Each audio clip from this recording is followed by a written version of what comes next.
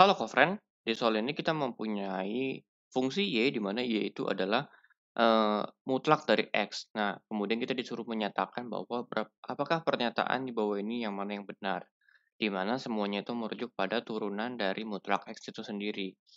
Kalau begitu kita akan mencari langsung untuk turunan dari mutlak x, teman-teman. Pertama, saya akan ubah bentuknya terlebih dahulu. Jadi kalau kita punya y, di mana mutlak x itu kita kenal juga sebagai akar dari x kuadrat, teman-teman. Kemudian kalau misalnya kita kuadratkan kedua ruas akan menjadi y kuadrat sama dengan x kuadrat. Nah, dari sini kita bisa lakukan yang namanya uh, turunan implisit, di mana kita akan menurunkan kedua ruas dengan terhadap x, teman-teman. Jadi misalnya kita punya di sini d per dx untuk y kuadrat dan juga d per dx untuk x kuadrat. Seperti itu teman-teman. Sekarang kita turunkan masing-masing. Karena Y kuadrat, ketika kita turunkan terhadap implisit, yaitu terhadap X, maka dia akan turun, akan menjadi seperti ini teman-teman. Jadi kita turunkan Y-nya dulu, dia akan menjadi 2Y. Kemudian, karena turunan itu kan berarti adalah koefisien dikali dengan pangkatnya ya teman-teman. Jadi 1 kali 2, 2 kemudian dikali dengan Y-nya, tetapi pangkatnya sudah dikurangi 1. Jadi jadinya adalah 2y.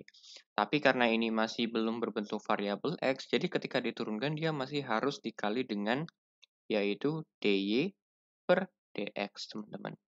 Seperti itu. Kemudian kita lihat lagi d per dx, di mana turunan dari x kuadrat sama seperti tadi juga, koefisien kali pangkat 2x. Karena pangkatnya sudah dikurangi satu juga. Oke, nah setelah itu barulah kita tinggal ubah bentuknya menjadi seperti ini. dy per dx itu sama dengan 2x per 2y. Kemudian kita coret untuk duanya atau kita sederhanakan menjadi x per y. Nah, di sini teman-teman, y itu kan sama seperti mutlak x ya, yang di awal tadi kita lakukan. Berarti turunannya atau dy per dx itu sama dengan x per mutlak x. Nah, di sinilah baru kita bisa menentukan apa yang terjadi ketika batasan-batasannya itu berbeda-beda. Pertama, uh, dy per dx akan bernilai 1 untuk x kurang dari sama dengan 0. Berarti atasnya negatif, bawahnya positif teman-teman, karena bertemu mutlak. Berarti jawabannya harusnya minus 1. Kemudian kita lihat lagi, dy per dx akan bernilai minus 1 untuk x lebih dari 0. Berarti nilainya positif untuk x-nya, atasnya positif, bawahnya positif. Berarti harusnya hasilnya adalah 1. Kemudian, dy per dx sama dengan 0 untuk x sama dengan 0. Kalau kita masukkan 0, kita juga masukkan 0. Hasilnya adalah 0 per 0, di mana itu adalah tidak terdefinisi, teman-teman. Yang menandakan bahwa hal ini adalah yang benar adalah yang D, teman-teman.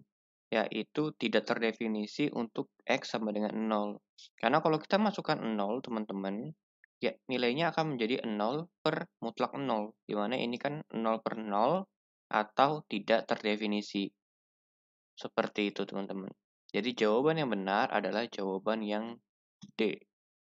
Oke, sampai jumpa di pertanyaan selanjutnya.